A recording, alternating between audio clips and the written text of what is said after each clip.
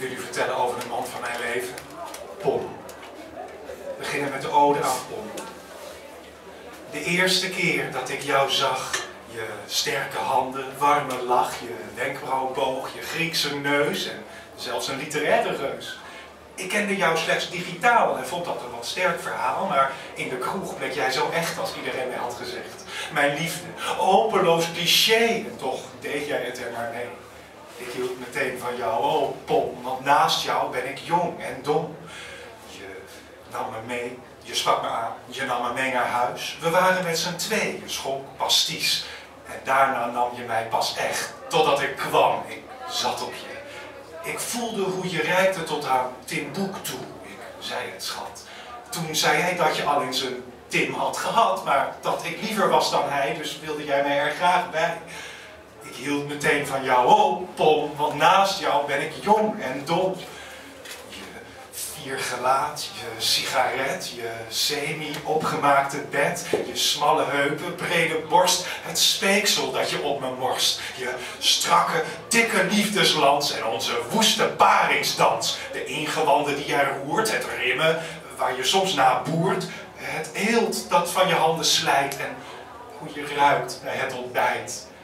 Ik hield meteen van jou, oh pom, want naast jou ben ik jong en dom. Oh, grote en gespierde pom, ik voel het bonzen op mijn trom. Pom, pom, pom, pom, pom, pom, pom, pom, pom, pom, pom, pom, pom, pom, pom, pom. Geen penis adequaat als jouw lat ooit eens mans prostaat. Geen big, intens of lang geknord als wanneer jij mijn poortje poort.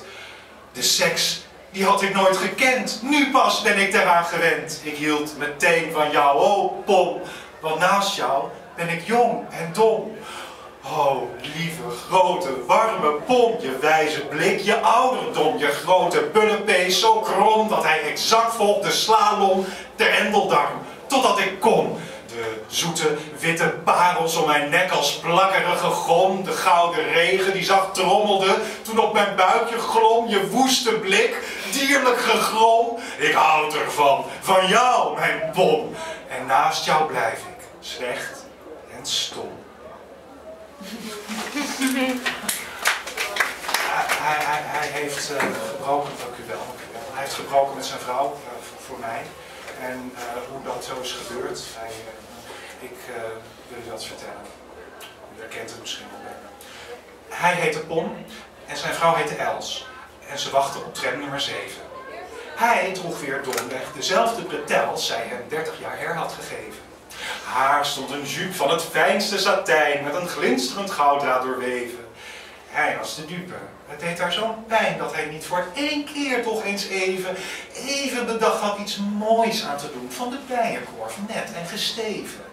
Elsje verwachtte niet veel. Slechts zijn schoenen gepoetst. Was dat zo overdreven? Pom zuchtte moe. Hij begon het gesprek met Sartre en dan laten leven. Zij beet hem toe. Op je broek zit een vlek. Het was hem opeens om het even. Biddend om stilte en ook om een tram. En goddank was daar plots nummer 7. Toen klonk gegil en een piepende rem. Hij is altijd gelukkig gebleven. Dank u wel.